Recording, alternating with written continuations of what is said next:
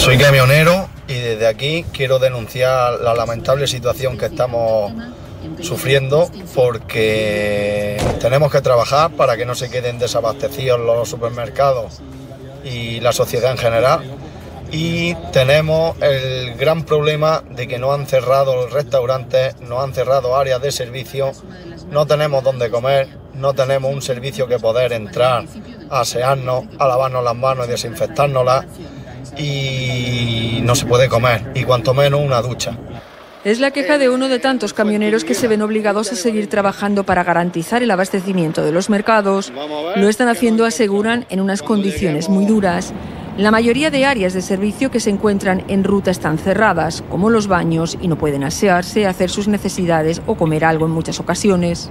No se ha contemplado que nosotros necesitamos dónde comer, dónde tomar un café a medianoche, que es a veces lo que nos ayuda a llegar a destino y dónde poder entrar a hacer de cuerpo, Dios mío de mi arma, pero pongan medios.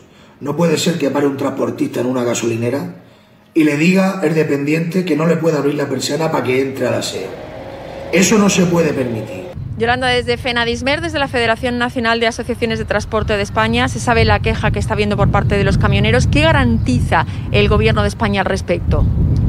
Bueno, el Ministerio de Transporte el día de ayer eh, decretó eh, que efectivamente los establecimientos que tuvieran aseo debían eh, darlo a disposición de los, de los choferes que están en ruta. En el caso de que se produzca alguna anomalía, ¿pueden denunciarlo a través de algún lado? Efectivamente, ayer pasamos un comunicado a todos los socios indicándole una dirección de correo electrónico que hemos habilitado para que en el caso de que no les dejen acceder a los servicios mínimos puedan comunicarlo a través de esta dirección y puedan denunciarlo. Como podéis ver, dado que no podemos garantizar a nuestros empleados y clientes la completa desinfección de los baños, nos vemos obligados a cerrar los baños en esta estación de servicio. Pues no solo esta.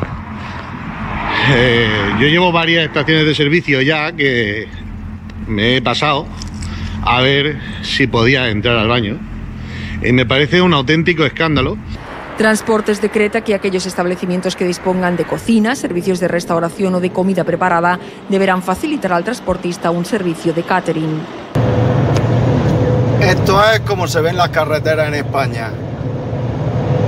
La mayoría del tráfico que hay son camiones trabajando para garantizar el suministro a todos los ciudadanos de España.